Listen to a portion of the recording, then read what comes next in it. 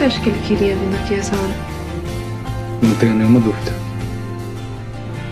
Ele veio atrás de você. Nesta terça, duas caras.